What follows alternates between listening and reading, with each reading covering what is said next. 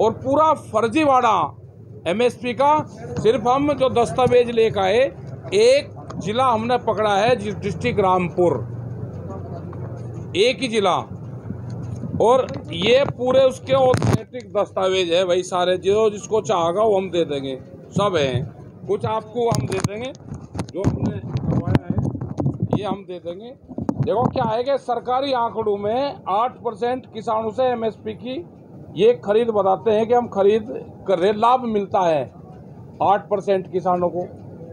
और उसमें भी चालीस परसेंट किसान के नाम पे फर्जीवाड़ा आठ में भी। तो कितना हो गया? आठ का आठ दर उसमें मतलब तीन परसेंट ओरिजिनल किसानों को देश में एमएसपी का लाभ मिल रहा। फर्जीवाड़ा बहुत भयंकर है। बीकेयू हमेशा ही कहती आई है कि एमएसपी को कानूनी अधिकार दो आप। जो फर्जीवाड़ा होता है, जो बड़ी कंपनियाँ हैं, वे एमएसपी के नाम पे उससे सस्ते में जो अनाज खरीदते हैं, वो अनाज ना खरीद पावे। अगर किसी को व्यापार करना, किसी को कपड़े का व्यापार करना, नुकसान हो रहा है तो भाई क्यों करता है? अनाज का व्यापार करना, अगर तुझे नुकसान है, मत करे। तो दूसरा धंधा कर ले। तो ये हमारा पूरा दस्तावेज़ हमारे साथ में है। रामपुर का ही हमने वो लिया। इसमें एमएसपी में जो खरीद, जो 2021 और 22 का जो आंकड़ा जो दिखा रहे हैं, अभी विज्ञापन दे रहे वो कर रहे हैं, उससे अगर पहले भी हम उठावें तो ये है कि बिचौलियों के माध्यम से उसमें सरकारी अफसर उसमें है। जमकर लूट करी गई है। अकेले रामपुर में उनकी पोल खोली गई है। ज़िले में क्रय केंद्र खुले, एजेंसियों ने रिकॉर्ड छब्बीस हज़ार तीन सौ इक्यानवे किसानों से कहा कि हमने खरीद करी। ग्यारह हज़ार इसमें से फर्जी किसान दिखाकर खरीद करी गई। अगर छब्बीस हज़ार किसानों से कहा तो ग्यारह हज़ार फर्जी किसानों से दिखाया गया इन्होंने। ये फर्जी किसानों से जो देख, हमरा दस्तावेज़ जो अवेलेबल करवाए, ग्यारह हज़ार फर्जी किसान उसमें थे। इन एजेंसियों में चौदह लाख सत्तर हज़ार हज़ार के गेहूँ के करीब को खरीद करी चौदह लाख। हज़ार किसानों से कहा तो ग्यारह हज़ार फर्जी किसानों से दिखाया गया इन्होंने। ये फर्जी किसानों से जो देख, हमरा दस्तावेज़ जो अवेलेबल करवाए, ग्यारह हज़ार फर्जी किसान उसमें थे। इन एजेंसियों में चौदह लाख सत्तर हज़ार हज़ार के गेहूँ के करीब को खरीद करी, चौदह लाख। दस लाख क्विंटल औने पौने दामों में किसान से खरीदा गया।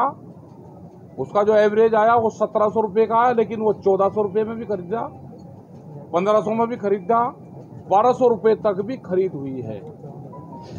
तो पूर्ण रूप से इसको आप देख सकते हैं। इसमें FCI C I P C F U U P S S और मंडी परिषद।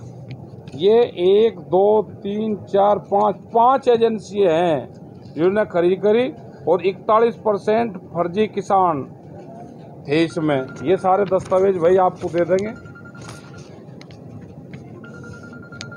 इसमें ग्यारह हज़ार किसान फर्जी बटाईदार दिखाए। कि भाई हमने तो बटाई पे खेती ले रखी। और बटाई कहीं की कहीं दिखाई गई। उसका गाँव यहाँ अस्सी किलोमीटर दूर दिखा दी कि मैंने वहाँ पे बटाई करी। इनमें वे स्कूल भी हैं, जहाँ पे बिल्डिंग बनी हुई है, जहाँ पे कॉलोनी कटी हुई है, जयप्रदा का स्कूल है।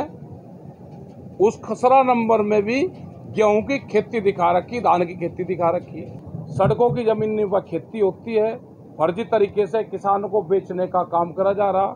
तो इस ये हमने बताया कि एमएसपी जो कहते हैं ना थी है और रहेगी।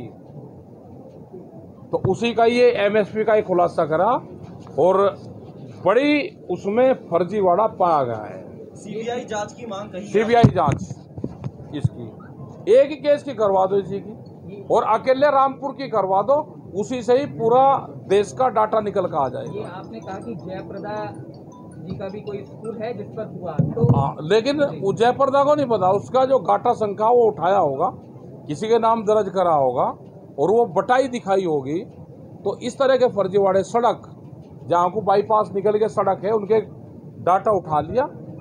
उसमें गेहूँ की पैदावार करी नहीं गेहूँ भी ज़्यादा निकलता है। यहाँ पे पंद्रह सोलह क्विंटल निकलता है एकड़ में। उनके तीस तीस पैंतीस पैंतीस क्विंटल निकले एकड़ में। और आपने कहा ये रामपुर के डेटा है आपके पास क्या और शहरों के और और के भी निकाल लेंगे हम। अभी रामपुर का आया ये पूरा दस्तावेज़ है। ये पूरा दस्तावेज़ है। ये सारे दस्तावेज़ हमारे पास में है। ये एफ़ का रामपुर के ये सारे ये ये सारे दस्तावेज़ हमारे पास में आ गए हैं। उत्तर प्रदेश सरकारी समिति ये दस्तावेज़ एक विभाग का है, ये अभी एक नाम, रामपुर का। और ये फर्जीवाड़ा होता है फ़ोन कॉल से। जिस फ़ोन कॉल से होगी, वह फ़ोन आप मिला कर देखोगे तो वे फ़ोन मिलेंगे नहीं। लेकिन उन फ़ोन पर ओटीपी आ गया। ओटीपी के माध्यम से फिर किसान का रजिस्ट्रेशन हो गया। वो उसी नाम से फिर तुल जाता है। पचास साठ रुपए का सिम लिया, एक फ़ोन करा और फ़ोन बंद कर दिया। फिर उसी में सिम डाला, दूसरे से कर लिया। तो इनका पूरा गैंग है, पूरा फर्जीवाड़ा है और कई हज़ार करोड़ रुपए का एक ही ज़िले में घपला है। नेताओं के पास में, नेताओं के भाई भतीजे सब इसमें लगे हैं, बीजेपी के नेता लग रहे सब इसमें। सब फर्जीवाड़े में लगे हुए हैं। देश को लूटने का काम करा जा रहा है। हमसे जुड़े रहने के लिए हमारे YouTube चैनल को सब्सक्राइब करें और नई वीडियो की नोटिफिकेशन के लिए बेल आइकॉन को दबाएँ। अगर आप ये वीडियो Facebook पर देख रहे हैं तो लाइक ज़रूर करें और ज़्यादा से ज़्यादा शेयर करें धन्यवाद